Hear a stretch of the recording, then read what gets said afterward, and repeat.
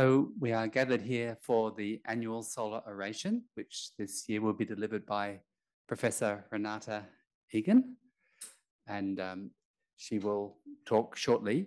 Um, traditionally, we have um, the, the, ACT Minister for Energy giving a talk, but he's slightly delayed, so we're going to invert things.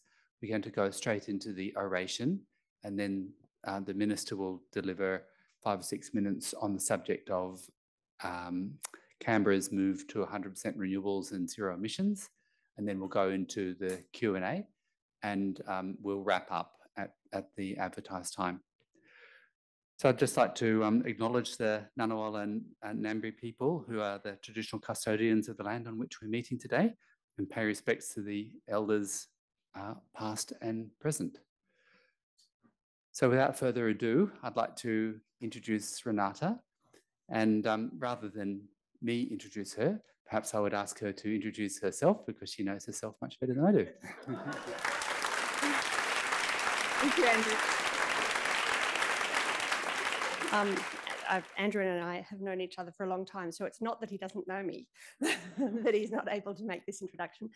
Uh, so I am currently the, I have just in the last three or four months taken on the leadership of the Australian Centre for Advanced Photovoltaics, which is a national research centre. I'll talk a little bit about it lately, uh, later. Um, that's uh, run from the University of New South Wales, but includes all the leading research uh, institutions around the country, in particular ANU, which is really we're equal partners just in the in the project. Uh, and it also includes Monash and Melbourne, University of Queensland, CSIRO, and now the University of Sydney. Uh, so I've been at the University of New South Wales for about 10 years, and before that, uh, I was in industry, in the solar industry, 20 years in the industry in initially in Australia and then in Germany and then working with China, uh, watching the industry grow from um, zero to hero. Uh, so it's been an exciting ride the last 20 years, and I think the next 20 years is going to be more exciting. And I hope to tell you a little bit about that as we go through the evening. So let me see if I can make this work. Okay. Uh, so uh, Minister Rattenbury will be here later we'll come back to him. Okay. Oh, I'm also Deputy Head of School at the University of New South Wales in the School of Photovoltaics, Renewable Energy Engineering, and my role is in industry and engagement because I come from industry. And I am the co founder of a company called Solar Analytics, which uh, is Australia's largest independent energy monitoring provider, mostly focused on energy for solar homeowners. Okay, so uh, today I want to talk. Um, I was asked what I wanted to speak about, uh, and I, I and uh, I'm very, of course, I'm very interested in solar and the, the, change that we have been through, and what is ahead of us. And it's literally generational. The change it's taken 20 as 20 years to get here. We have another 20 years ahead of us, and over that time frame, we're going to see some really significant changes. Uh, there's where there's pushback. I think my message is always it's generational. We don't doesn't have to happen overnight, but it has to happen. And the sooner it happens, the better the outcomes are going to be. So I, that's why I called it generation change, and um, and the role of solar PV. And it's a leading role. We really expect solar to be the dominant source of energy in this country, uh, and for at least 50% of the energy in most of the most parts of the world by 2050 and beyond. Um, so Australia has made uh, a commitment finally uh, to net zero by 2050. Uh, I note, I read, I, I, in, in preparing for this um, talk, I actually had quite a bit of, I took the time, which I don't often have the time to, to take, uh, to read the, the literature and the conversations. And I picked up this piece on net zero um, by 2050 being too late. And it's this is I do think it's true, and it's actually interesting to know that the, while the federal government has said 2050, the states are all more ambitious, uh, and historically the states have actually led and pulled Australia along. So I'm optimistic that we'll um, we'll actually have some statewide leadership, which uh, is going to get us closer to net zero before 2050, closer to maybe 2035, we'll see. Uh, when we talk about emissions, um, those emissions, uh, this, and I've borrowed a lot from the group called Rewiring Australia, which is probably familiar to anybody who's interested in this space. Uh, this is an initiative run or it started by a fellow called Saul Griffiths, um, who has had a, a, reasonable influence in the politics of uh, decision making in the US around electrification. And he's an Australian who's come back here to, to promote the same message here and is running this organization called Rewiring Australia and is looking at electrifying everything with a focus on starting with households. And part of this messaging will come through.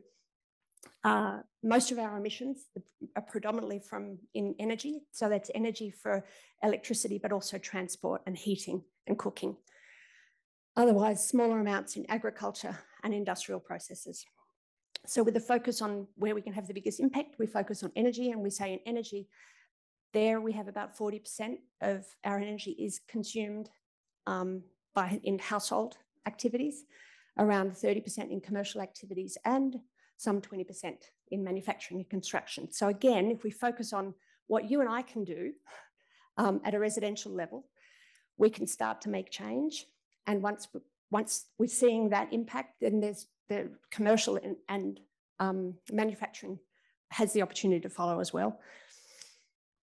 Uh, we've working at household level, we've actually already seen significant change. So Australia is leading the world in its uptake of rooftop solar, with 30% of households, freestanding homes around Australia, now are now powered by rooftop solar. That's remarkable, and it's made, been made possible by a, a few things. One is the precipitous, precipitous drop in the price of solar, which has made it really the lowest cost form of energy. So if you can, you should have solar on your roof. Uh, the, um, in addition, some, some forward thinking and some bipartisanship in government set us up with some energy targets, uh, uh, the renewable energy targets that allowed support for small scale solar and large scale solar, which drove a lot of change in Australia some 20 years ago. Um, and has set us up for this, uh, for this world leading um, role in rooftop solar. We, solar is now uh, incredibly low in price, and I'll cover some of that shortly. But because we have gained this experience, Australia now has some of the lowest processes around installing the solar. So for us to put solar on our roofs in Australia, uh, it'll cost for the average system size now is around nine kilowatts, and that will cost around either $9,000 or less to put solar on your rooftop. So what we would call a dollar a watt. Um, and in the, just a moment. Oh, uh, sure. Thank you. Um, so uh, in the US, the, the, the, same product costs, instead of a dollar a watt, costs between $2.50 and $3 a watt. It's just, it's phenomenal. What we have learned by doing in Australia has been really impactful. So more than anywhere else in the world. And as a result, uh, Australia now um, delivers 15% of its uh, total electricity needs from solar. So about two thirds of the solar, or 20% of that comes from our rooftops, and about 10% is solar that's deployed at large scale in the field. Uh, we've been slower on the large scale solar than the rest of the world because, because of the way those incentives were set up. Uh, and as a result, um, solar in the field, interestingly, is more expensive than solar on your rooftop. Not only is it more expensive to deploy, but you then actually have to pay for the transmission to your home. So another re reason why rooftop solar is so cost effective in Australia.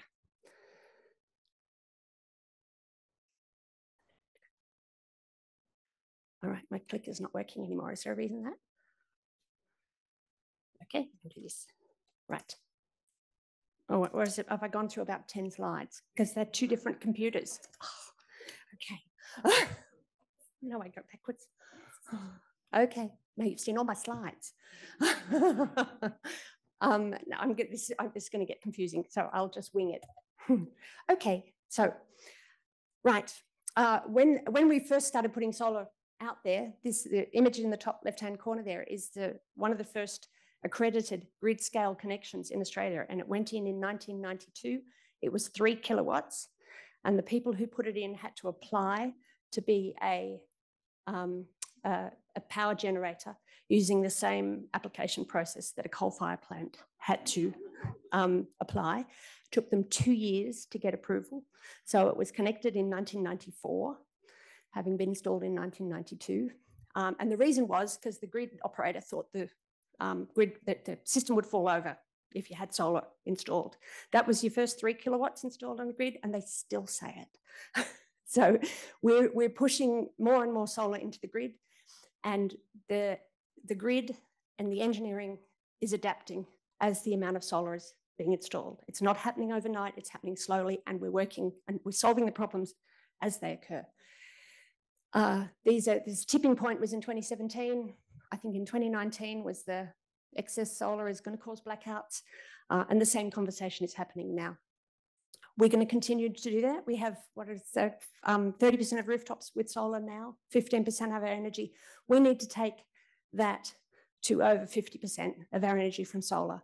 So we're going to have to keep engineering solutions to the challenges. It's, it's true, there's solar on the grid provides creates challenges, but they're engineering challenges and the challenges that many people in the room are, are interested in, in taking on and solving. It's part of what we do is to address those challenges as they arise. Uh, so this is a, a, little bit of the journey, and there's two ways to look at it that I want to take you on, and that is uh, how rapidly we have changed the amount of solar that's on the grid and how we have to keep that up and in fact push it harder. So in 1992, we had three megawatts of solar on the grid. Is that what it says? Uh, yes, that was when the seven kilowatts was put on. There was a total historically installed of three megawatts in 1992. By uh, 2000, that was 30 megawatts. By 2009, 300 megawatts. Those are the little bubbles. You can see they're growing and they are scaled appropriately. Uh, by 2013, we had three gigawatts of solar installed. And to, sorry, and by now, 2022, last year, we hit 30 gigawatts of solar. So we've actually been increasing by a factor of 10 the amount of solar in our grids every eight or so years. So for our to achieve our targets of uh, 80% of uh, 80% of energy on the grid as renewables by 2030, and to get to our net zero targets, we need to, to, to support our current activities of our levels of, of energy consumption. We need to get to 300 gigawatts, but that's only a tenfold increase. And we've been doing tenfold increases every eight years. So we can do it. We just have to keep the momentum up that we've currently got. Uh, to try and understand what the future looks like, we can look at what we've currently got. And while we have 30% of rooftops around Australia with solar on the roof, and we're managing with that, if we actually go and dive down, we'll find there are quite a few large areas where we're already at 65% of rooftops with solar on the roof. And this is a map that you can all look at at, in, at your leisure on the Australian PV Institute's website that actually tracks where all the solar has gone in, in and around Australia. And the little graphic on the bottom right hand corner shows you um, percentages up to 70%. And the, the deep red you'll find in Adelaide and Brisbane, there's vast areas that have more than 60% rooftop penetration of solar. And the grids are managing with that really significant penetration of rooftop solar. Uh, the particular suburb that's shown there is 65%, I think, if you can see the box in the top corner. Uh, in and around the ACT, I had a quick look.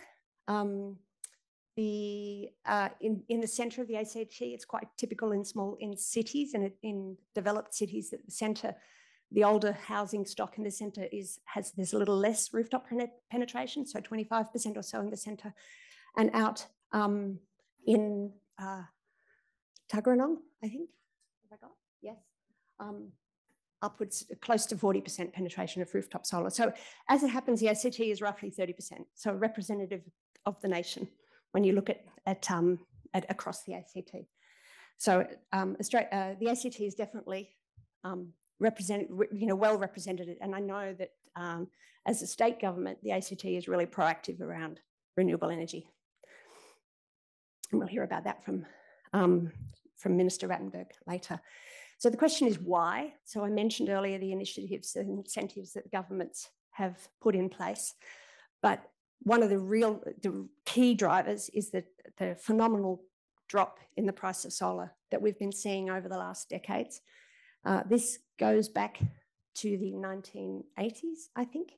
So in around in and around 1995, when I started working in solar, uh, the price of solar was around $20 a watt. And for me, that was a, I had a science training and solving the, and a material science background and solving the, the materials problems with solar was, and for Australia made so much sense. That's what drove me into solar. By 2005, when we had a technology that was ready to take into manufacturing and we took it into manufacturing in Germany, the price of solar was $2 a watt. So 2005, we went off to Germany. I spent a couple of years in Germany uh, de uh, developing this technology at $2 a watt. By the time we'd been there for two years, the market price of solar was $1.20 a watt. And it, so the, the solar, you can actually see the bumps in the curve. Um, there are times when there's a supply shortage and prices go up and lots of people invest and then this problem is solved and the, the price plummets again. Uh, so that happened at around 2005. It happened again in 2008 with a global financial crisis, and it's happened just recently around COVID that there was a, there were supply shortages, prices went up, and now they've dropped uh, precipitously again. So that in just before COVID, the price of solar had got to 20 cents a watt, and now we're seeing prices, incredible prices like 12, 13, 14 cents a watt. I honestly don't know how it, they're doing it. Uh, but it does, it's just phenomenal. The change has been phenomenal and we ha- there's every expectation that it will continue. There's got to be a flaw somewhere, but we haven't seen it yet. Uh, at the same time, the cost of energy as provided by uh, fossil fuels, um, gas and coal has been slowly increasing. So this is again from Rewiring Australia. This is the cost of energy to households. And the cost of energy to households has got to around $5,000 a year, roughly on average now. And again, you can see the lumps and bumps in there. They're due to supply chain challenges. And the, the rise that you see plotted there was associated with the Russian invasion of Ukraine. Uh, there's been a, there was a bit of a correction, but there'll be challenges now with the, um, uh, the conflict in the Middle East. So we'll see the same thing around um, energy prices for households will keep rising. Uh, the analysis that um, the Rewiring Australia team have done around electrifying a household, putting the solar on and locking in your delivery of energy says that the energy pricing, if you do that, you lock in a price of around per, per household of around two to three thousand dollars a year. There's a saving per household of around two and a half thousand dollars a year. If you, if, but you have to make the investments up front, and that's the challenge uh, that that um, that, that we're looking well that we're looking for an economic solution for. Um, so the the change isn't huge, right? The household doesn't look very different. It's just we're going to move when we electrify, we'll be moving away from gas heating, gas cooking, um, so gas hot water, gas house heating of the home, gas cooking, and petrol cars. We'll be using um, heat pumps for heating, electric vehicles for driving, and solar on our rooftops for energy generation.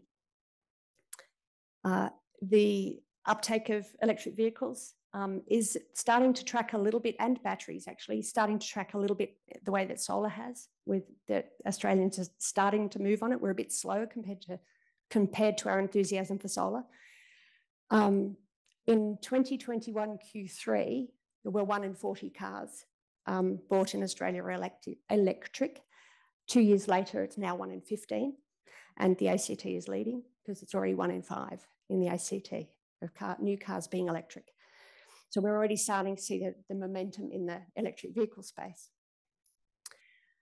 The real, the driver of, of all of this, as I mentioned, is because rooftop solar is so much cheaper.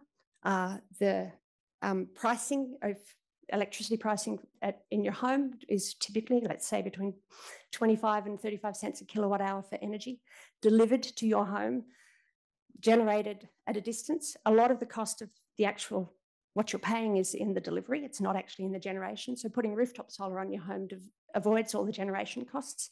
And the hardware itself and the installation over its lifetime works out around three cents, three cents a kilowatt hour now. Of course, you only get the solar um, in, the middle of the day when it's being generated. To be uh, to to be more self-sufficient at home, you'd want to add a battery. And the same analysis says, and this one on the left, the graph shows you the breakdown of your pricing um, from taking into consideration the delivery and the, the, the, cost of burning coal, the delivery of that, the various retail costs and charges. Uh, and to the right is the cost of solar. The cost of solar, if you add a battery now, it adds an extra 16 cents a kilowatt hour. But with time, those battery prices are going to come down. The price of solar is not going to come down much more than that, or extraordinarily cheap. But the battery price will come down with time. So it really does, it makes sense now, but it's going to continue to, that's, that um, situation is going to continue to improve. And one of the other real benefits of, of electrification is that electrification is so much more efficient. So electric vehicles, electric heat pumps are so much more efficient than coal and gas burning. It's for the top um, top left graph is showing your hot water heating. On the left is if you if you're running off um, a coal fire, uh, or is it gas? It's gas. Sorry, um, and the the middle bar is is resistive heating, which isn't as um, is not much more efficient, and next to it is heat pumps, which are effectively a quarter of the uh, of energy consumption, four times more efficient than, um, than using the coal fire uh, electricity. And the same is true, I'm going to have to read it now, uh, for space heating, um, for stovetops, and for electric vehicles, at least three times more efficient uh, than using coal fire generation or petrol and fuel um, for your vehicles. So this is where the analysis comes in around the savings um, that's that's there for households to uh, um, it, as well as being zero emissions is you produce, reducing your electricity bills from around $5,000 a year down to around $2,000 a year. So a significant change, a significant opportunity for every household to save on their electricity generation. Uh, back to this slide again. Um, to, and because I've given you the Rewiring Australia, and most of that information you can find on the Rewiring Australia website, uh, shows you this saving that is possible. Um, and I don't know, sorry, the 42,000. Um, I'm not sure about the $42,000. I'm not going to speak to that one. But the idea is that for each household saving around $2,500 a year. So if a community of 10,000 people um, is saving $2,500 a year, that's $25 million every year, which stays in that community.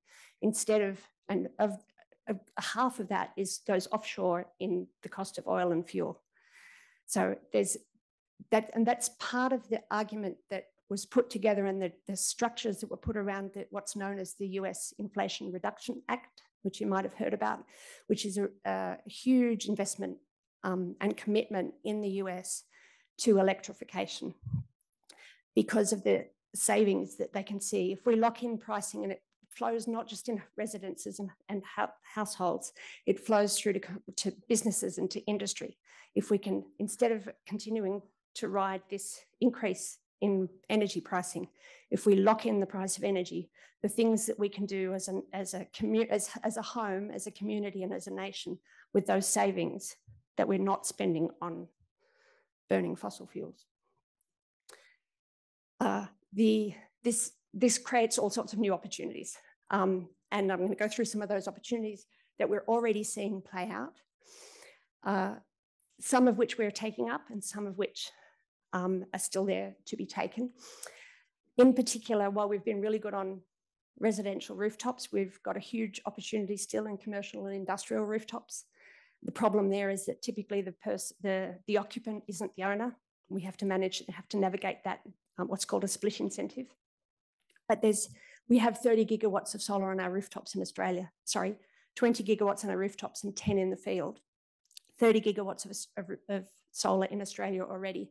And the analysis says there's 30 gigawatts roughly of rooftop available in commercial and industrial sites around Australia. Uh, there's uh, the possibility to combine solar and agriculture, and we're seeing some uptake that uh, uptake of that already, where you have co-grazing um, of animals with the solar arrays, but also co-planting, where for crops and that benefit from um, a little bit of shade. That with the, in the harsher conditions we have in Australia, you can actually um, co-plant uh, alongside solar panels. You can have your crops as well and sorry, and that was another 34 gigawatts, and that's that's the, that's co-planted with agriculture. Clearly, we also have a lot of space where we can just deploy solar um, mindfully, mind you. Uh, and then as we go down this path and our in, down this energy transi transition, there's a big opportunity for uh, reinventing our future, and we're already seeing that at play here. So I've put my little um, prompt in there about solar analytics, which is a company I start, I helped start.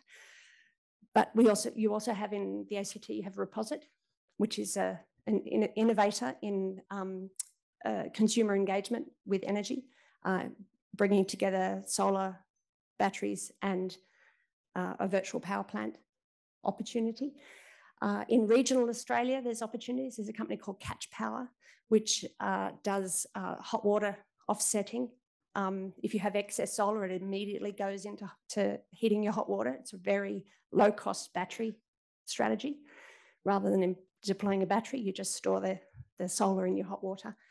And I had the, the pleasure of um, uh, visiting um, Armidale last week and going to um, the Armidale School. And in the picture there on the bottom right is uh, the Armidale School flywheel system.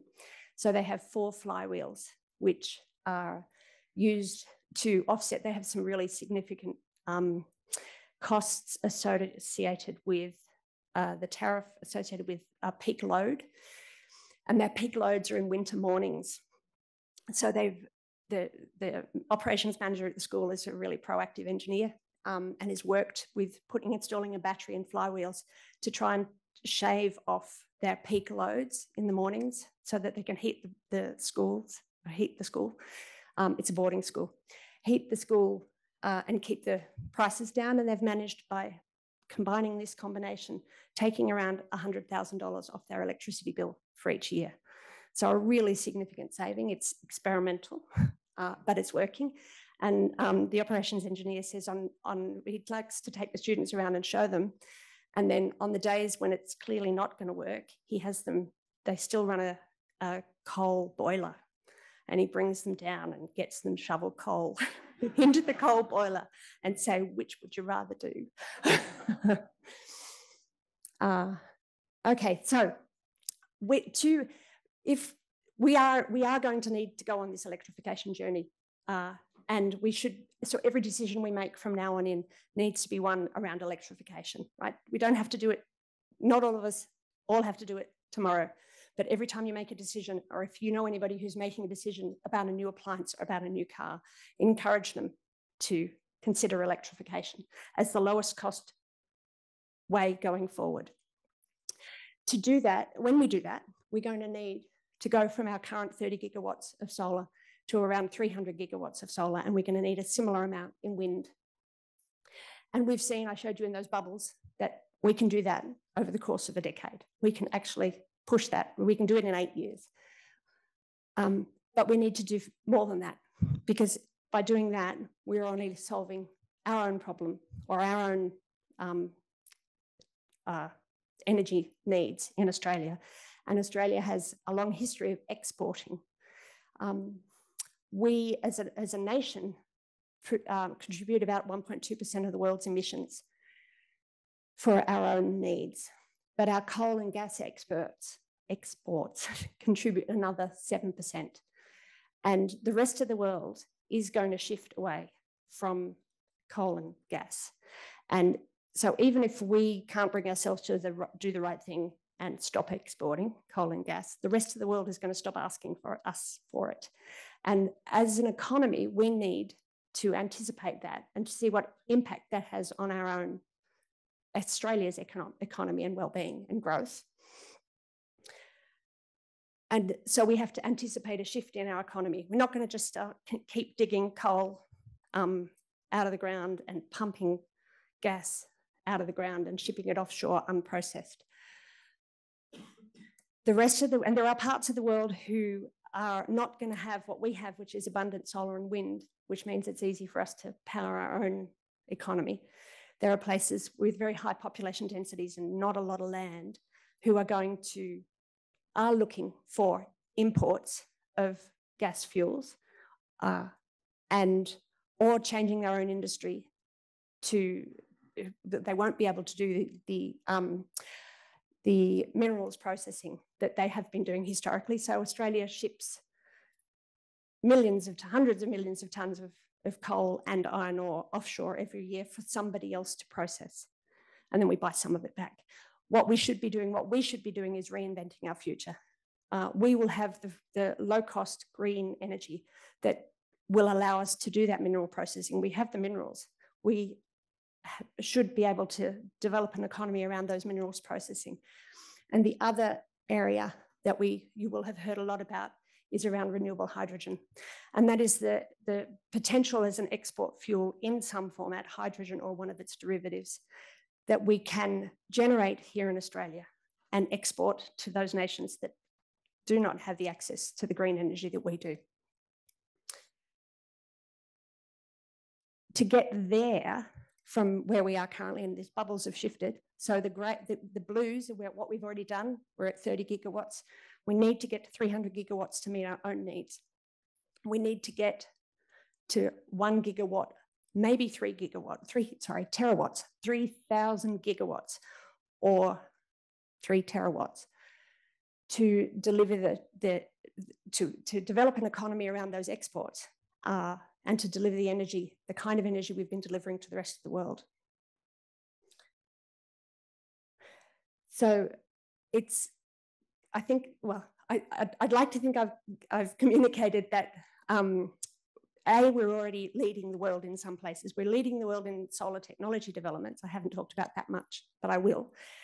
Uh, we are leading the world in rooftop solar we have a really good opportunity to re- lead the world in integrating that rooftop solar to have really smart grids, smart, stable grids. Uh, we continue to do strong research, leading the world. And um, I don't have a picture, I should have put a picture up, but uh, just two weeks ago, uh, some of our leading scientists and engineers were recognised uh, with the Queen Elizabeth II second prize for engineering, which is the world's best prize for engineering. Uh, Andrew Blakers included for, um, for their work in uh, the development of solar cell technologies. So there, there's a particular solar cell technology which was developed at the University of New South Wales with Andrew Blakers, Martin Green, and uh, uh, Zhao and Awa, who were two scientists in the team, that is now in 90% of the modules being manufactured in the world today. And because of the way solar has gone, has been deployed and grows so rapidly, it means that 50% of the world's solar modules being deployed and powering, creating energy at the moment use that technology. So Australia's already had this really significant role to play in energy technology development, solar technology development, and I think we still have, we still are like world leading in a number of areas and we still have a significant role to play. Uh, to deliver that um, vision of not just 300 gigawatts, but three terawatts of solar. Uh, the 300 gigawatts we can deliver with the technology we have today. Uh, it's cost effective. All we have to do is roll it out. To develop those new industries around hydrogen and green minerals processing, we have to drive the price of solar down even further. So there's more work to be done, and the Australian Centre for Advanced Photovoltaics, which I have now the great privilege of, of leading, uh, has been charged with uh, working for Australia to develop those next generation technologies to take us to, from the current costs of solar uh, to the next generation of technology. I don't have the numbers up there now. So we're looking at um, improving solar cell efficiencies from around 22%, 20, module efficiencies from around 22% today to around to over 30% efficiencies. We're looking at installed cost of solar at 30 cents a watt from now around 60 cents to a dollar a watt and to do so by 2030. It's a target known as the 30 30 30 targets 30% efficiencies, 30 cents a watt by 2030. And we're charged with the research that is going to make that possible. Uh, the ACAP, the Australian Centre for Advanced Photovoltaics, is a national centre. There's a string of universities um, on the side here. It has been running since 2013 under the leadership of Martin Green it's formed an, like a really quite amazing network, which is recognized by some of our international um, colleagues as being unique in that it's in the collaboration that's generated from it. And it's made possible by the fact that we have long-term certainty in funding. So the first round of funding for 2013 was for eight years. We got halfway through, we got a two-year extension to 2022, and we've just got an extension out to 2030. And it creates this critical mass of researchers which has us all working together collaboratively rather than competitively. And together we seed new ideas, we connect and collaborate. We've just had one of the um, one of the uh, PhD students here from um, ANU spend a month at UNSW. We have another one there at the moment, and we have a UNSW student coming to um, ANU in the near future. Those sorts of collaborations help build capacity uh, and establish, you know, maintain the momentum around our research capability. In addition, we were able to secure funding for research infrastructure, which has set us up for the next eight years of research. We've been delivering over the last eight years. I'll give you some examples of what we've delivered, and then I'll tell you a little bit about what we have planned. Uh, we've um, seeded new projects and new ideas around materials that have then gone on um, in, in novel materials for the next generation of devices. That's gone on to be independently funded, started within our centre, and it's been funded independently. We've started modelling capabilities around manufacturing costing. And one of the activities that we've got running at the moment is to look at whether Australia can, where in the supply chain, if we're going to invest in 300 gigawatts and then three terawatts of solar, what role can Australia have in that manufacturing capability? We shouldn't be buying it all. And at the moment, all of the technologies are coming from, from, from China, from one nation, and that puts our progress and at risk. Australia, uh, China's done amazing things in, in driving down the price, but now that we've become reliant on it, we really need to make sure that we have a resilient supply chain. So where can Australia play in that supply chain? Uh, and we've been working on some AI uh, to really gather information quickly and learn from other, uh, other people's experience and our own more quickly around research outcomes to drive uh, change faster. We uh, invest a lot in capability and capacity building. So we actually run research uh, fellowship programs where we have all these individuals. There are just little stories up there on, on various people.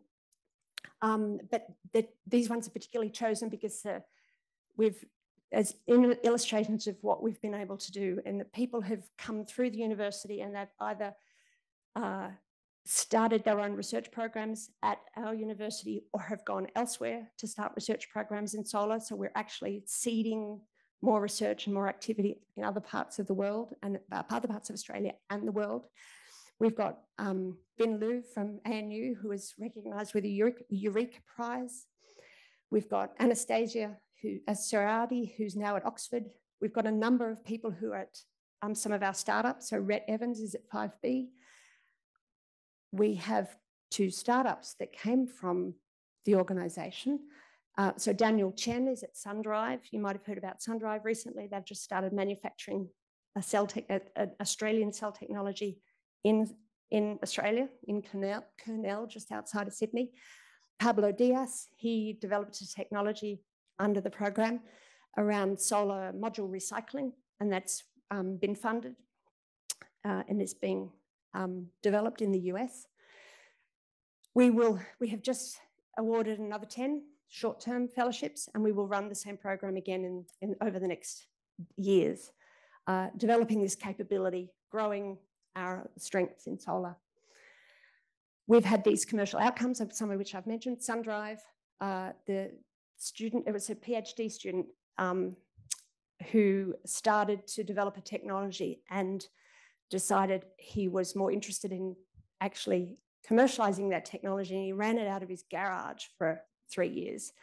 Uh, and then out of a workshop for a few years. And now they have a manufacturing facility uh, which they're using to demonstrate scale up and then with a plan to scale up again.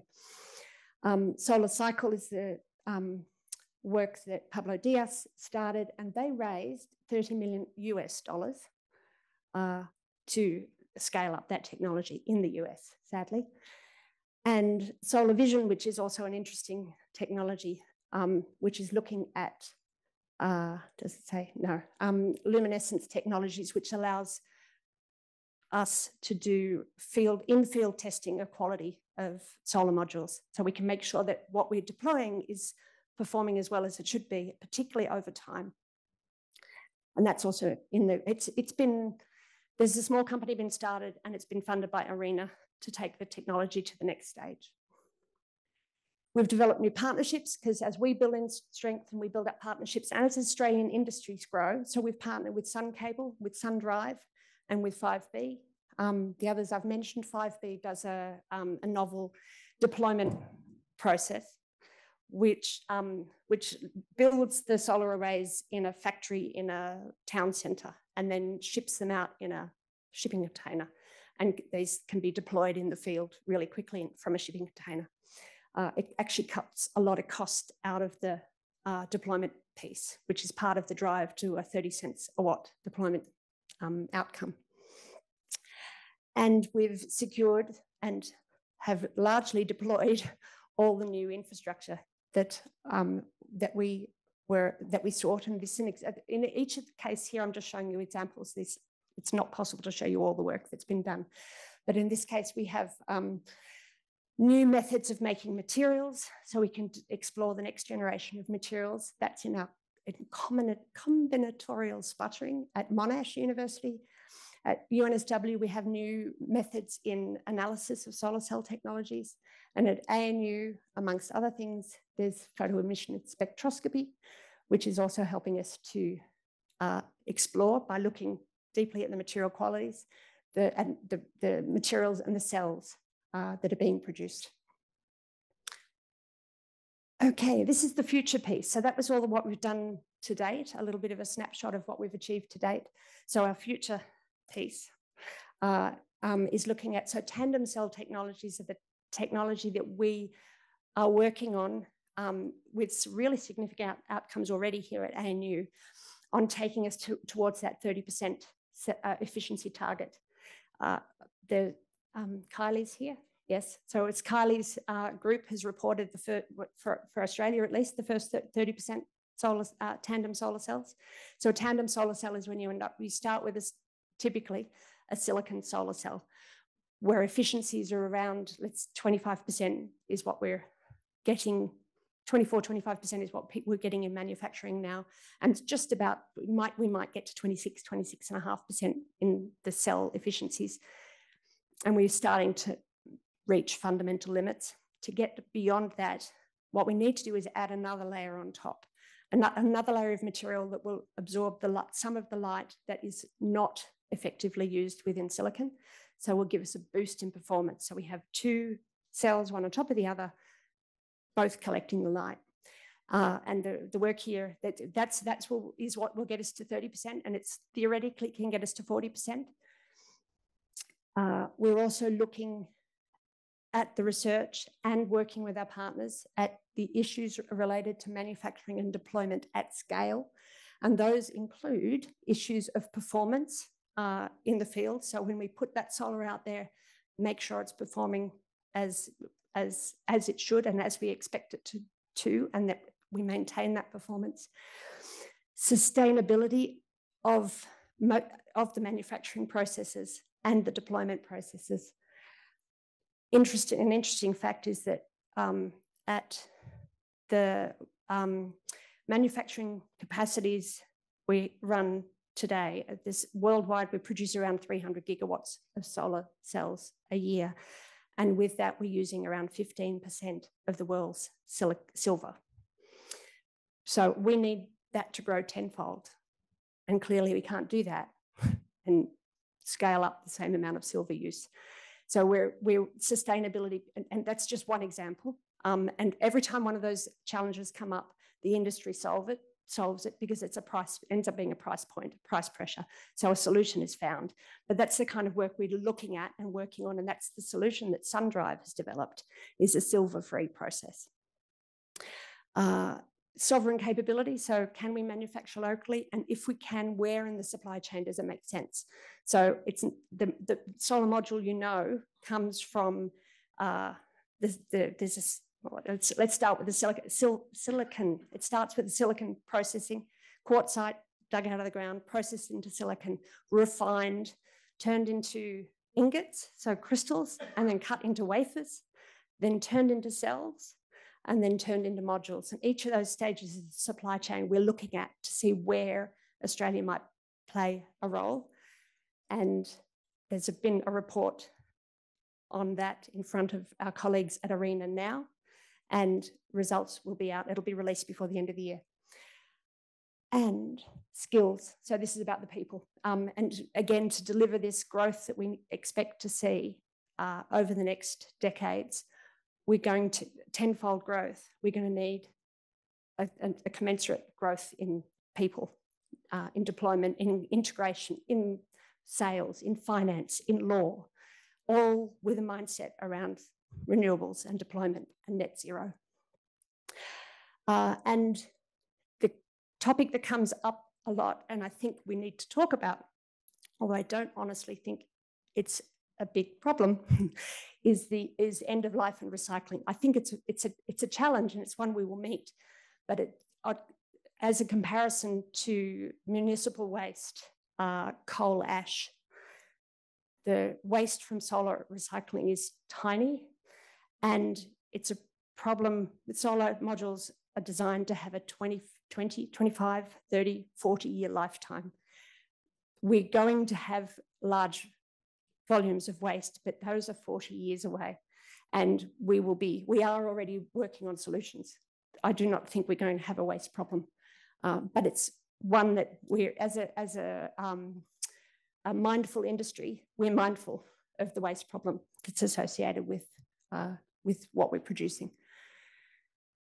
So, solar is disruptive.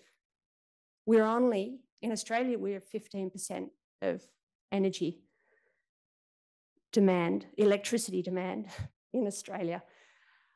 Worldwide, where it's only 5%. We're really just at the beginning. It's really just starting. And sometimes I like to think of the modules of today, like the mobile phones of the 1990s. Some people in the room look like they might remember those. I do.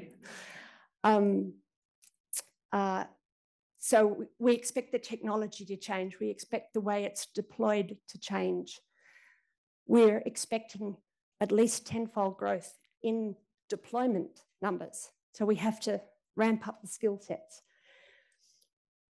Uh, our colleagues at ARENA have been working on this long-term vision and developed their own narrative around ultra low cost solar, which they call the incredible ULC, uh, which um, on the premise that accelerated growth will come from accelerated growth in deployments will come from delivering ultra low cost solar and it'll enable a low cost of energy. And we're targeting $15 a megawatt hour. So that's for those of us used to residential electricity pricing at 30 cents a kilowatt hour. $15 a megawatt hour is one and a half cents a kilowatt hour. So, and that's the cost of energy that's going to enable this um, green minerals processing and the hydrogen economy. It's probably possible at three cents a kilowatt hour, probably at five cents a kilowatt hour, but we'll target lower. Uh, so in summary, you'll be pleased to know, um, we've shown that we can scale, right? We've done it. We've been doing it for decades. We another couple of decades, and we're going to be able to deploy at least 300 gigawatts of solar. We need to target more than that. We, the technology we have now is enough. We need to get a move on. And what we've learned is that the way you drive down the price of solar is by doing it. That's how it's what we've learned over the last 20 years. The more you produce, the cheaper it gets. So we need to keep deploying. We need to not wait for some technology which might work. We need to work with the technology that does work and drive, continue to drive down the price. We know it will keep getting cheaper the more we deploy. And we need to develop these technologies uh, that will allow us to drive down these prices and then open up these new industries and these new possibilities, which would make Australia a renewable energy superpower. Words from uh, Fatih, Birol, the um, executive director of the IEA, and that is that the transition to clean energy is happening worldwide and it's unstoppable. It's not a question of if, it's just a matter of how soon, and the sooner the better for all of us. And I think this, and Australia is so well positioned to benefit from it if we embrace it and run with it. So thank you for your attention.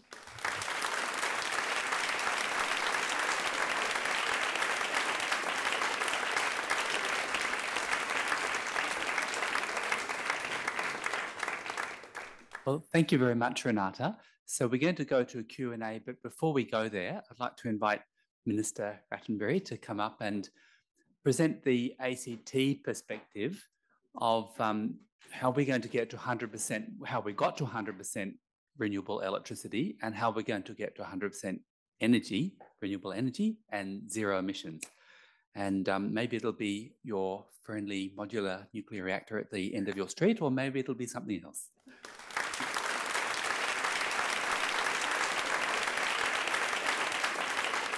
Yuma, hello, and thank you, Andrew and Renate. Thank you. That was so interesting. I'm sorry I was a little late for it. Apologies, everybody else was a bit late tonight. I think punctuality is an important quality in life, but as a minister, occasionally that gets taken out of your hands. So I'm sorry I was not here earlier, but I am delighted to join for this annual opportunity to check in on where the ACT is up to and provide a quick update. I'm going to try and give you a whirlwind summary of what's happening in the ACT. As Andrew touched on, of course, the ACT has now had 100% renewable electricity for a number of years, and that leaves the question of, well, what do we do with the rest of our emissions? That has meant that 100, move to 100% has meant the ACT has cut its greenhouse gas emissions by 47% below 1990 levels, which makes us a leading jurisdiction on the planet for climate action. But with that, more than 60% of our emissions now come from transport, and more than 20% comes from fossil fuel gas use. Uh, so those are the challenges and the policy areas that we need to focus on.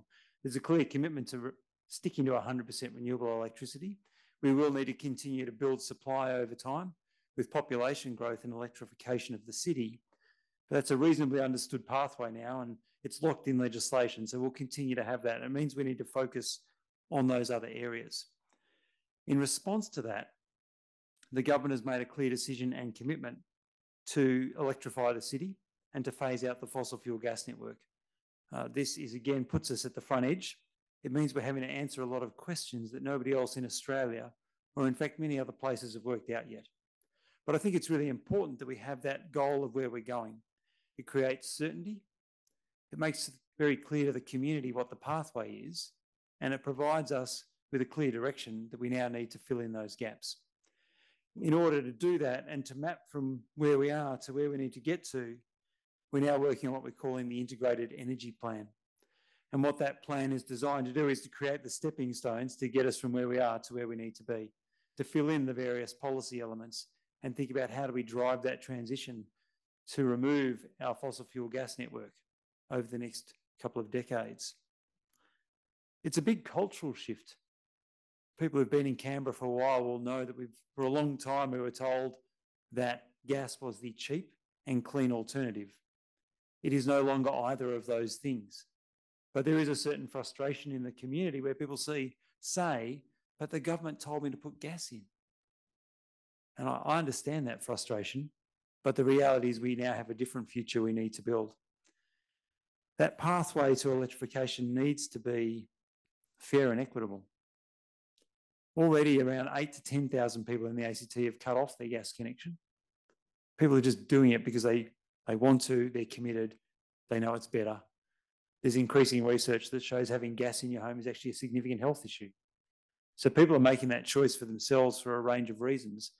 But there's also a whole segment of our community who cannot afford or don't necessarily have the knowledge or the research skills to work out how to do that for themselves. And I think there's a very particular role for government in assisting those parts of the community in particular to make that transition, to ensure we don't leave people behind, and to be really conscious of the residualisation issue.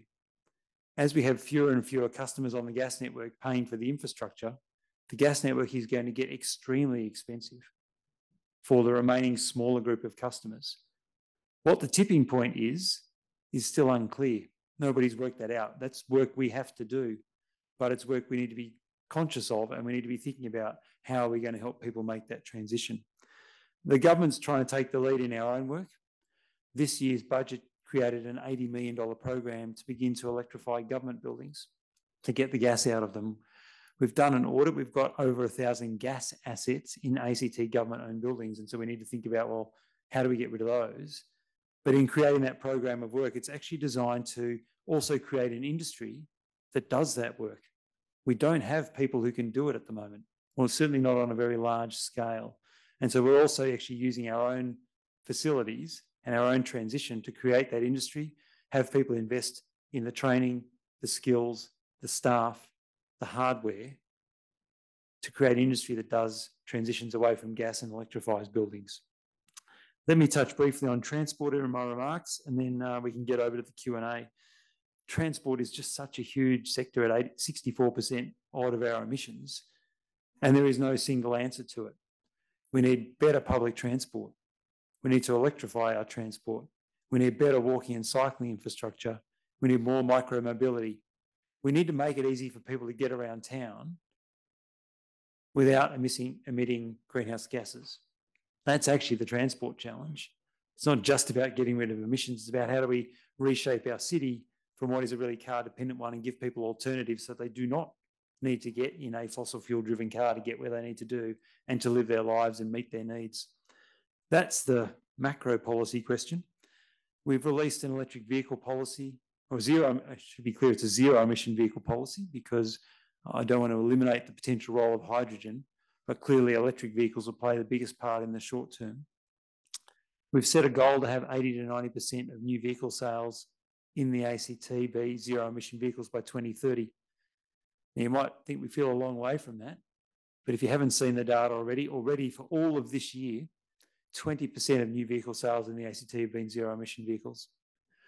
I see a few faces in the room who were at the session last night with our Norwegian visitors. It was great to spend time and it was a fascinating session. I got a lot out of it. We've also recently met a delegation from California. I was really surprised to discover that California only has 23% of their new vehicle sales as zero emission vehicles. I had assumed they'd be much further ahead of us. 23% of California is a lot more in absolute numbers, but it was fascinating to realise that actually we're up there with California at least and making substantial progress. What's so fascinating in listening to both the Norwegians last night and talking to the Californians is the sort of questions we're trying to work out. What sort of charging infrastructure? Where do you need it? How do you retrofit into multi unit developments? They're all actually grappling with the same problems. The big question of equity how do you get electric vehicles to people on lower incomes? know, I think it's fair to reflect that our Norwegian visitor last night said we haven't quite worked out either, other than just getting more vehicles and making them cheaper. These are the challenging questions that lay ahead of us, but uh, it's exciting to have connections with those other jurisdictions and be working together on how to solve some of those problems. So, the sum of my presentation is the ACT sits at the forefront, both definitely in Australia and globally, in some of these questions, but there are a lot of questions still to solve And uh, we look forward to many of you contributing to answering some of those questions as we continue to strive to deliver the challenge we have, which is to cut our emissions and create a safer future for future generations. Thanks very much.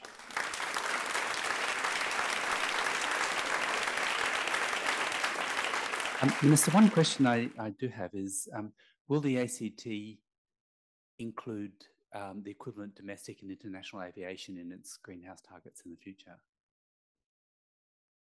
It's a good question. We actually include aviation emissions in our greenhouse gas inventory at the moment.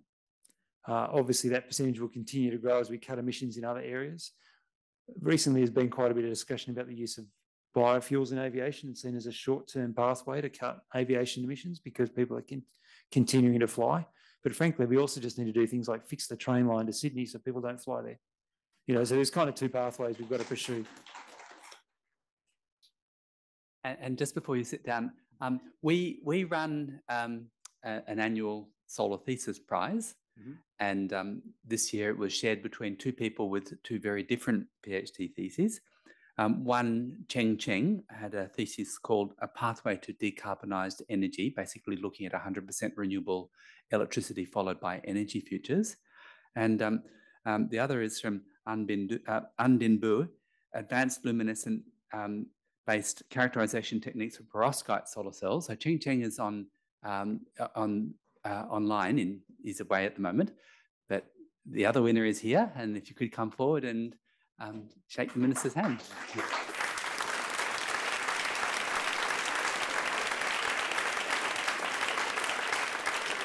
Thank you very much. So now we come to the Q&A and we will finish at 7.30 uh, sharp. And um, this is where your chance to ask lots of uh, awkward questions. so perhaps I could start off with somebody on the in the online audience. Thanks, Andrew. So I have a question online from Julian McCarthy. Um, it says, great presentation, thank you. You describe impressive investment in technology through ACAP. However, to get to 300 gigawatts and 3000 gigawatts, the challenge will be not only technical, but will also require unprecedented collaboration of public, private, and academic resources. Is there work being done on the governance, constructs, and forums needed to achieve this collaboration and accelerate investment to the required pace?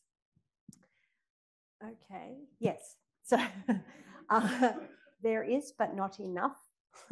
so there is research being done um, in that space. It's it's not under the remit of the Australian Centre for Advanced Photovoltaics and driving the price of solar down to the 30 30 30 targets.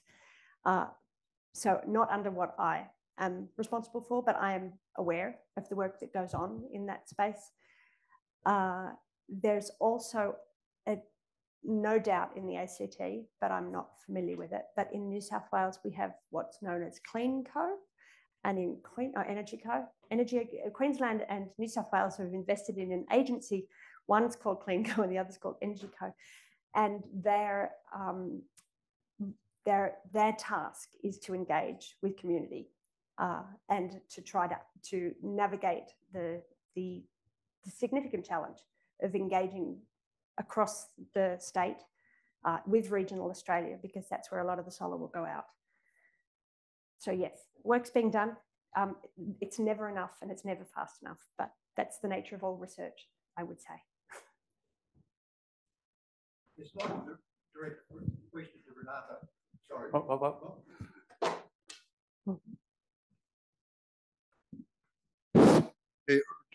Questions to Renate, um, and very good address, thanks very much. Going back to your statement uh, very early on, about 30% of households uh, are powered by rooftop solar. Two parts to the question. What percentage of their total energy needs is being produced on average? And is there going to be a need for us to start promoting that many of them will need to add additional panels and batteries? Uh, okay, good question. So I don't have, it's literally, it's, it's been changing over the last two decades. I put solar, I put solar on my roof in 2008. Uh, a one kilowatt system cost $12,000. And so that clearly, I mean, th- then we're an energy efficient household, so that met about a third of our needs. um, and I have just, I bought recently, two years ago, bought an electric vehicle and we put another six kilowatts of solar on our rooftop so that I could charge the electric vehicle. Interestingly, I put it on the south facing roof, which everybody thought I was mad, but it was the best piece of roof I had, uh, best real est- roof real estate I had, and it's been fine. Um, so my answer is it's an obtuse answer, but that is it's changing and there is no clear average around. Um, so systems, the average system size now is nine kilowatts. We're putting around 300,000 rooftops in a year. Last year, expect to be similar amount this year. Nine kilowatts is more than a household needs. Most homes are now being, um, because there's so much solar, they're actually being export limited. So new systems are have um, often have constraints on how much they can export, which actually encourages them to put a battery on. And um, some recent research, which hasn't been released yet, has looked at uh, payback times of for batteries under the, the recent price rises. So maybe not in the ACT, but the rest of the nation has seen significant price rises on the back of increasing prices of oil and gas as a result of Russia invading Ukraine.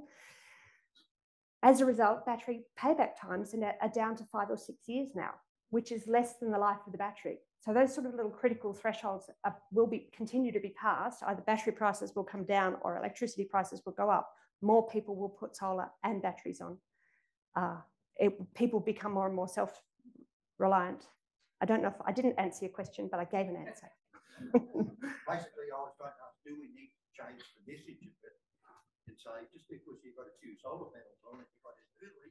Yeah. That's not going to be enough to be fully electric. right. And my understanding of the forty-two thousand dollars on the Saul Griffith's graph is that if you change to fully electric for all the energy needs Ah, now, It'll cost you. forty-two thousand between now and. Okay, thank you. Thanks for that summary. Not Just, just to put, just Yep. put in context, um, when you look, work out how much solar you would need to run the entire world or an, an entire affluent country like Australia with zero fossil fuels, so you electrify transport, heating, and industry, it works out at about 13 kilowatts per person. So if you've got three people in your house, that's like 40 kilowatts, does the entire job. So if you're putting nine or 10 kilowatts on your roof, that's a very substantial fraction of what is your share of completely decarbonising the planet, because you've also got solar farms and wind farms. So another question, yeah. But going back to online, to be fair, uh, we have got a question from Joe who says, How confident are we that we can address the energy attrition involved in making and transporting green hydrogen? The energy inefficiency. Yeah. Uh, how confident am I that we are going to solve that problem? Um, that's it will be that's part of driving the price of the cost of solar down so low is that it's not necessarily efficient but it's low cost. So it, it accounts for the inefficiencies in the process. Uh, the australia will is un, and in fact there's a fellow if you're interested in the hydrogen economy there's a fellow called michael Liebreich who does a fabulous um, assessment on a regular basis of where hydrogen is going to play a role in the economy. Um, and he's far less optimistic than most. Uh, the, there are parts of the world that are that with very high population densities and uh, challenges have challenges with solar and wind resources that are looking for alternatives, and their alternatives will be based on the hydrogen economy or nuclear to meet their energy needs. Andrew, do you? Um, yes, but of course, most people have got solar and wind. Even you know, Japan has got 50 times more offshore wind than it actually will ever need. And um, Indonesia has 2,000 times more offshore floating solar in calm equatorial seas that never see large wind and waves than it will ever need. So most people have got an awful lot of solar and wind. Uh, okay. Um, thank you, Renate, for a very interesting presentation. Um, a slightly curly one. What strategies are being put in place to ensure um, in the um, manufacturing process that workers are not going to be exposed to risk similar to silicosis? Uh, good question. Uh, so there, there, in any chemical manufacturing process, there are risks and hazards. Uh, the and there are different standards around the world for what is acceptable practice. I have been on the manufacturing lines in China, and the, the, the there's the standards are high, and they're high for a number of reasons. There's, for, for a start, quality and cleanliness, so people don't actually get exposed to very much anyway because they're removed from the processes. In, interestingly, more and more the processes are being automated and they take people out of the manufacturing process itself. The I understand now a number of what the module assembly lines, which is where you take the cells and you turn them into the, the modules that you know, are actually run in the dark. There isn't, there aren't people in the room anymore. It's all automated and it's run in the dark. So uh, I, I can't hand on heart say that it's everything is a pure process, but yeah, it's people absolutely people are thinking about it, and it is and it's more than the you know exposure of, of people to health consequences in the workplace. It's waste streams. Like what happens to the chemical waste? How is that processed and handled? That is, it's there is a, a mindfulness and an awareness around those challenges, uh, and the industry is moving uh, to address them. Uh, so, I, but, but I, you know, not I can't say hand on heart. it's a pure process.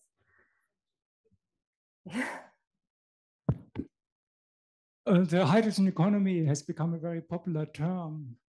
As a chemist, I look at it with rather mixed feelings because hydrogen is also the smallest molecule you can think of, and it escapes very easily into the atmosphere. There is now increasing research which shows that the global warming potential of hydrogen is tenfold that of CO2. Oh. Now imagine you people driving hydrogen-driven cars. It's unavoidable that the hydrogen will escape. And it, it will be much worse than for methane, for example, which is bigger molecule. Is there any way of stopping Toyota, Hyundai to advertise hydrogen as our future for driving cars, driving airplanes and trucks? Um, so I think the economy around hydrogen, the economics around hydrogen will slow down the reality of hydrogen um, because it's the if yeah, it's the earlier question around the efficiency of the process uh, is that's a huge challenge. The efficiency of of transporting and storing the gas is a huge challenge. I used to work. I actually did a postdoc here at ANU um, in electronic materials engineering, and we were running processes using hydrogen. And I know the safety standards and, and challenges that we faced in transporting, storing, delivering it into the labs, disposing of it. It's, it's, there are such significant challenges around hydrogen. Um, I don't have an answer for how to convince some of these nations that it's not economically or safe, like not viable. But um, it's a, it's a, the future. Uh, Andrew, do you have a? I don't. I don't have a. I, I'm not a big. I'm cautious about the hydrogen economy in the long run. Um, well, uh, one observation is that hydrogen cars are being outsold by EVs 400 to one, mm. and I think that um, Mr. Toyota is going to have their very own Kodak moment. They've, they've made the wrong bet. Mm-hmm. Thank you. So we're jumping back to a question online from Bernie Ingle. Uh, they say, I'm in Toowoomba Renew, one of the 10 community partners selected by Rewiring Australia across Australia as a project to progress theirs and our work. I would love your advice on a low hanging fruit goal that we can influence locally and regionally.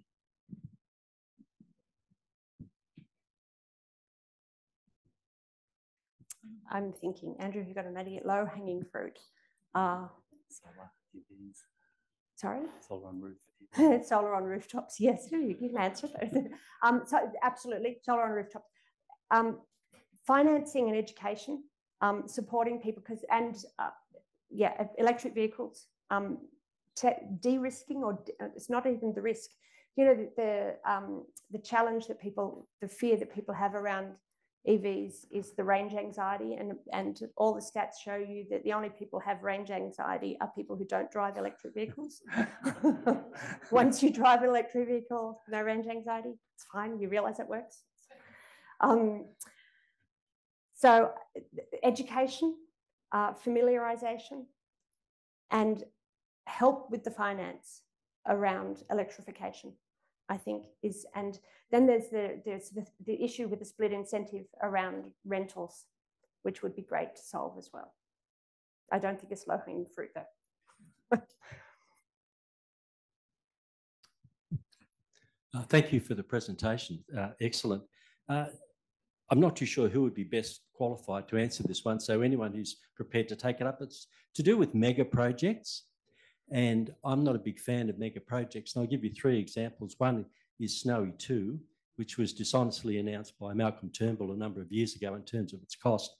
Uh, now the uh, what is it, the chickens are coming uh, home to roost on that. There was also that uh, huge project, I forget the name, in the Northern Territory. I think it was the second 17 gigawatt project for export to Singapore. Oh, that is Cable, either yeah. Sun the cable. Sun cable tap. Uh, that is either stalled or fallen over. And I was reading in uh, Renew Economy re, uh, just a few days ago, uh, Fortescue Metals has dropped a massive renewables hub uh, as it reorganises Pilbara energy plans. Uh, now that one, I think will be massively scaled back if it doesn't fall over completely. I suppose what I, my, question uh, in brief would be the dangers of these blue sky massive projects and will we see further examples of this? Because on the commercial side, as opposed to rooftop solar, these things are, are truly huge. And if they worked, it would be fantastic. But there's three large projects which appear to be stalled or dead in the water. So, So I'm happy to answer that. Uh, I think in there, so when um, the research started on solar in the 1970s, 80s, the idea that we would be contemplating powering the world, 50% of the world's energy needs being met by solar would have been considered the same thing a waste of time. Why are you bothering with solar? Right? You actually have to have some people with long-term visions and big ideas to make things happen. And they don't necessarily happen in the way that you think they will when you start uh, with any of these big ideas. So Snowy Hydro will be complete and it will deliver a low cost of energy despite the, um, there is not a single infrastructure project in Australia that has ever come in on, on its first budget, uh, you know, estimate, its first budget estimate. Um, and you know, the same if the same questions were asked with the original Snowy Hydro project, it would not have gone ahead. It's going ahead. It will work, and it will provide a battery of a nation for when we have a, a large-scale renewable deployment. The Sun Cable project uh, stalled, um, and it it is a big picture, big vision project. But I actually think, you know, there's it's it's private money in the Sun Cable project if you've got big thinkers ready to, to have big ideas, I mean, so, and not a big fan, oh, sorry, I'm careful about my language. So I think Tesla um, changed and accelerated our thinking around electric vehicles by putting out a car that was something that was uh, something that was a big, a big expense, big expense, expensive car, but one that was aspirational rather than a little pocket EV that that's half the size of what you used to drive in and, and with half the range. So sometimes you need some big thinkers and some big challenges and ideas to bring about change more quickly. And I think that's what we're seeing with these projects and having the looking at the big problem we've got to solve and saying some of these need to be things need to be really big steps and being brave about them will take us on that journey, even if we don't actually get a thing at the end of it, but we will be, we will have made progress along the journey. And I, I, do recall the derision with which the ACT government's announcement that they're going to go to 100% renewable electricity was greeted. I mean, this is just nonsense, isn't it? Well, it was done early. And um, if I recall correctly, uh, the ACT government actually made money, a lot of money Mm. during the pandemic when prices, well, the, the invasion when prices went very high. It's money that went back to consumers. Yeah. It's not in our pocket, it's in the sector. Yeah. Yes. Um, so we've got a question from Jesse Parish online. It says, thanks, Renate. We hear a lot about needing gas as a transition fuel. How do you respond to this? it was gas, right? Yes. Not wind and gas. Yeah, so gas as it, it is, um, but it's going to have it's going to be short lived. Uh, is aspirationally, at least for me. I think we need to make it. We need to move faster on deployment of solar and wind, and uh, gas is offering a, a lower emissions, but not a lower cost uh, transition but we need to move faster on wind and solar, and then we will not need and batteries and snowy hydro, and we won't need the gas. Uh, in any case, gas in the electric, the national electricity market has fallen from 10% four years ago to 3%. so this is not a transition fuel. It's transitioning out. Laughing gas led recovery or something like that. Okay, no, yeah.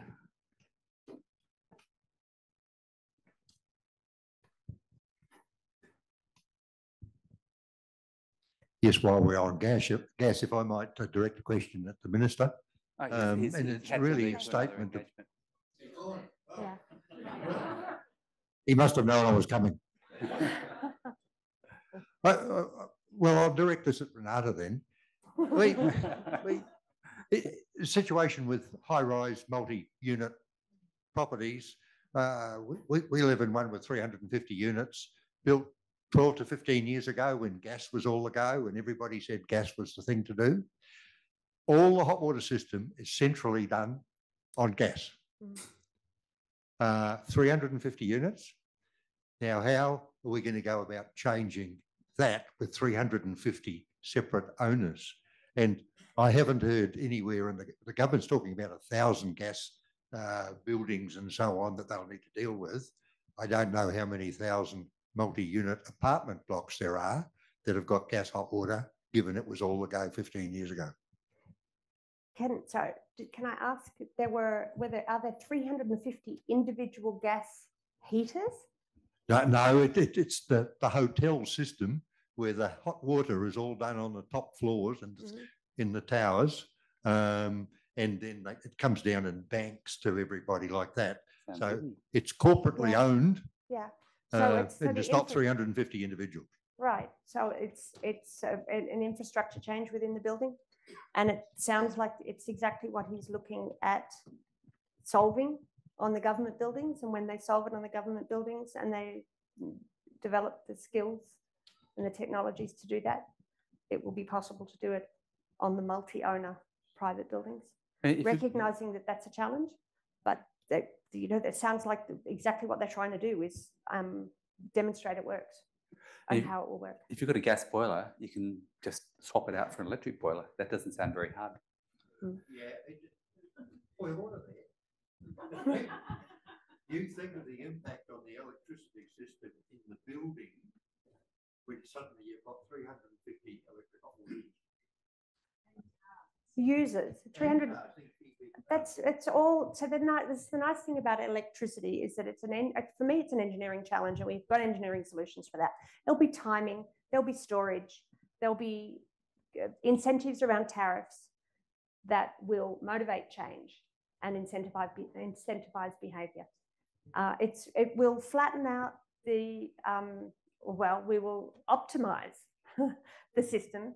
We'll have, we already have excess solar in the middle of the day. So we need to incentivize people to be charging their cars and heating their hot water in the middle of the day. And then the cost of energy will go, well, well, I won't go, it, it, just for the reference, I don't think cost of energy is going down. But what we want to do is stop it going up. um, so we'd be able to control the you know cost of energy for people. The, the, yeah. So I, I think I think these are all engineering solutions that are, and the technologies exist today. It's just that they're going to be bespoke solutions for different applications and we have to work out what those are with each of them. Okay, so we've just got a couple more minutes. Um, just two quick questions. So Yep, Uh, very fast. Uh, I was wondering about uh, the move from lithium to salt, sodium batteries. We know that they are bigger and more heavier. How is Australia moving in that direction? They are cheaper. Yeah, so um, it's a, a similar answer and that it's uh, it's a technology solution. There'll be different technology solutions for different applications. Um, lithium is a lightweight, high power, short, relatively short storage solution. Uh, the and I don't know much about the salt batteries, but I do know about the um, the flow batteries. So those are large, fixed. You don't want you're not they're not going on transport. Um, long duration battery storage.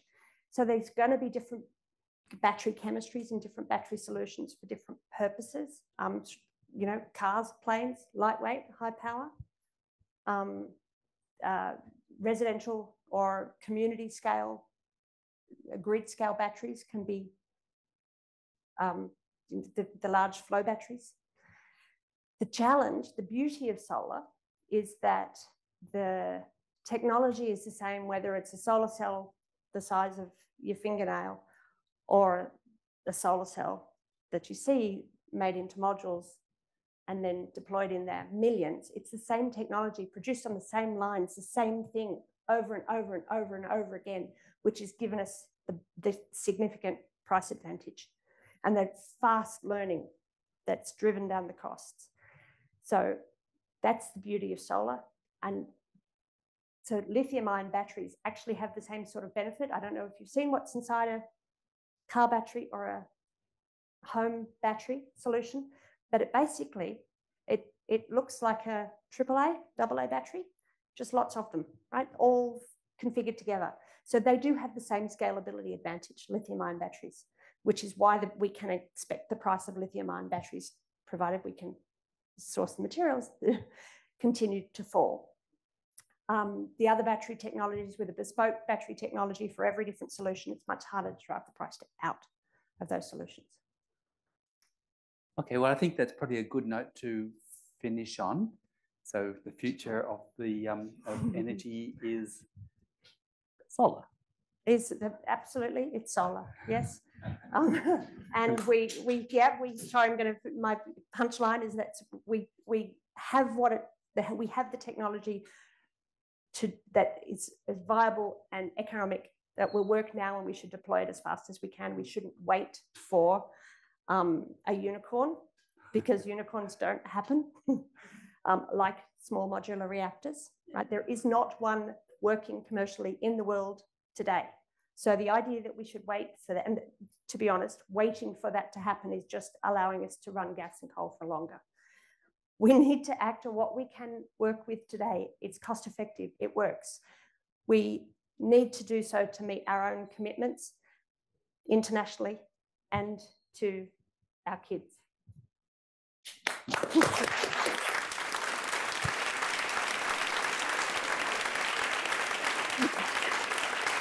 So thanks very much for coming and uh, I wish you all good night.